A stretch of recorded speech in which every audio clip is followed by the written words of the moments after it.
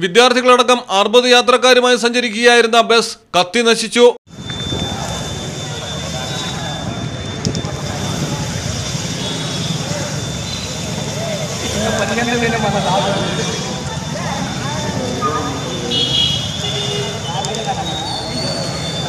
Andhra Pradesh transport കോർപ്പറേഷന്റെ ബസ്സിനാണ് തീപിടിച്ചത് കൃഷ്ണ ജില്ലയിലെ വെൻഡ്ര പ്രകടയ്ക്ക് സമീപം വെച്ചായിരുന്നു. അപകടം ഗുഡിവാഡയിൽ നിന്നും വിജയവാഡയിലേക്ക് പോവുകയായിരുന്നു ബസ്. എഞ്ചിനിൽ നിന്നാണ് തീ പടർന്നത്. പുകയുയർന്നപ്പോൾ തന്നെ ഡ്രൈവർ വാഹനം നിർത്തി യാത്രക്കാരോട് ഇറങ്ങാൻ ആവശ്യപ്പെടുകയായിരുന്നു. തീ ആളിപ്പടരുന്നതിന് തൊട്ടുമുമ്പ് മുഴുവൻ യാത്രക്കാരും സുരക്ഷിതരായി പുറത്തിറങ്ങിയതിനാൽ വൻ ദുരന്തമാണ് ഒഴിവായത്.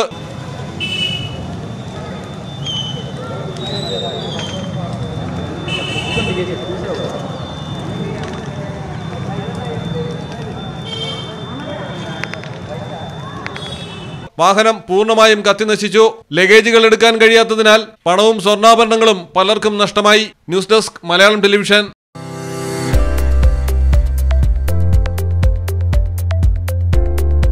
ശ്രേഷ്ഠമായ പഠനം ഉന്നത നിലവാരത്തിൽ നൽകുന്ന എംപയർ കോളേജ് ഓഫ് സയൻസിൽ വിവിധ U G P G and diploma കോഴ്സുകളിലേക്കുള്ള admission ആരംഭിച്ചിരിക്കുന്നു. BVoc radiology and imaging technology BVoc dialysis technology BVoc food technology BVoc M L T B S C nutrition and dietetics B S C optometry B S C medical microbiology എന്നീ degree കോഴ്സുകളിലേക്കും M B A health care management B B A in aviation and logistics professional diploma in hospital administration എന്നീ management കോഴ്സുകൾക്കും പുറമെ diploma in medical laboratory technology diploma in radiology and imaging technology diploma in dialysis technology എന്നീ diploma കോഴ്സുകളിലേക്കും admission ആരംഭിച്ചിരിക്കുന്നു. Well equipped practical labs നൂതനമായ പഠന രീതികൾ ഏറ്റവും മികച്ച ക്യാമ്പസ് സൗകര്യങ്ങൾ ആൺകുട്ടികൾക്കും പെൺകുട്ടികൾക്കും പ്രത്യേകം ഹോസ്റ്റൽ ഫെസിലിറ്റീസ് കോളേജ് ബസ്സുകൾ തുടങ്ങിയ മറ്റനവധി സൗകര്യങ്ങൾ എംപയർ കോളേജിൽ നിങ്ങൾക്കായി ഒരുക്കിയിരിക്കുന്നു. Empire college of science Moodal Kuttippuram Malappuram. Phone nine five two six double seven double nine double zero nine five two six double seven double nine double two